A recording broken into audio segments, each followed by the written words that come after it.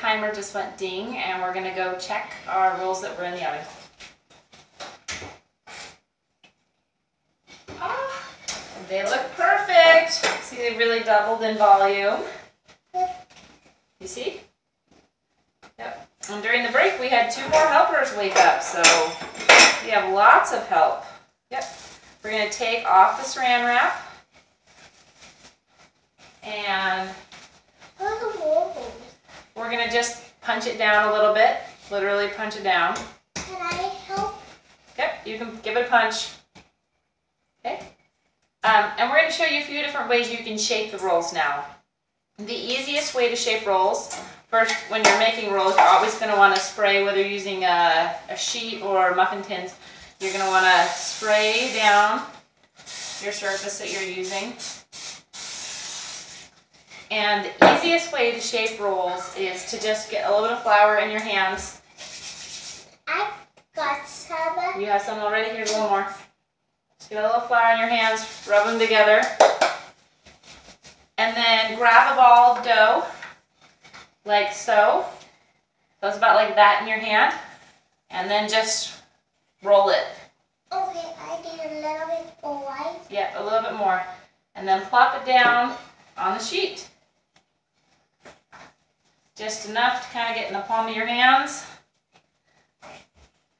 And roll it till you can feel like it's getting into a little bit of a tight ball. And you're going to put them about so far apart on the cookie sheet. And when they rise, they'll actually rise together. And then when you cook them, you'll you can piece them apart and they look really nice. Another way that you can make rolls, shape your rolls is take them and flour a surface like so. I spread that around and get a good chunk like so. And then see how organized I am in the kitchen? More flour on top and then actually roll them out. Roll it out in a circle. And this is how you'd make crescent shaped rolls.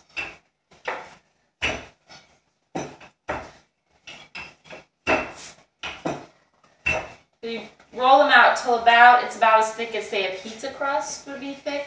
Maybe a thin pizza crust. And then you just take a pizza cutter and roll away. And I think I'm gonna cut it into three, I think I'm gonna cut it into twelfths.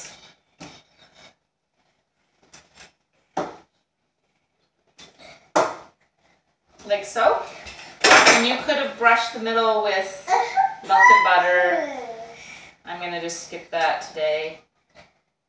And then you roll it up and you have a croissant, croissant shape that you can put on your sheet like that.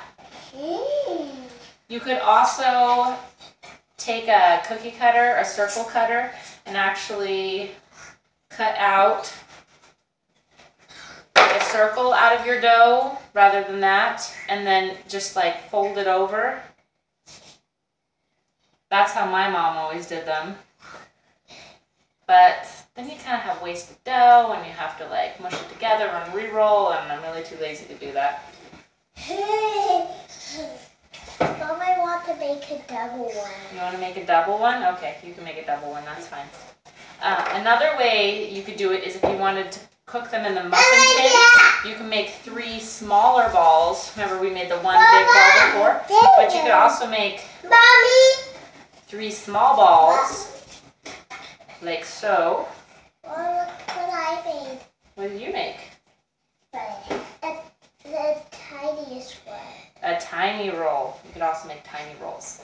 So see, I've got three balls just like that, and then plop them together in one muffin tin. That's a really nice looking roll too.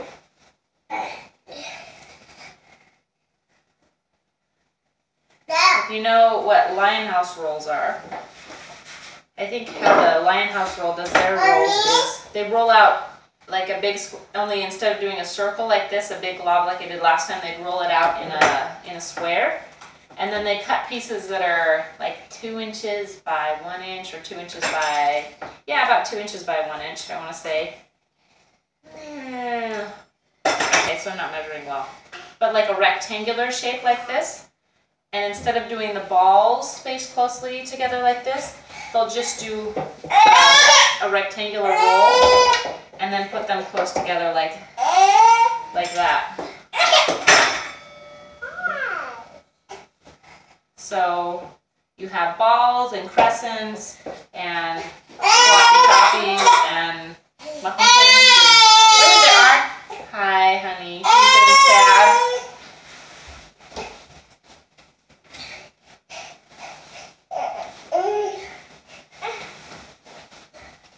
So there really are no rules on how you shape your rolls. You can shape them however you want. You can cut them out like airplanes. It really doesn't matter.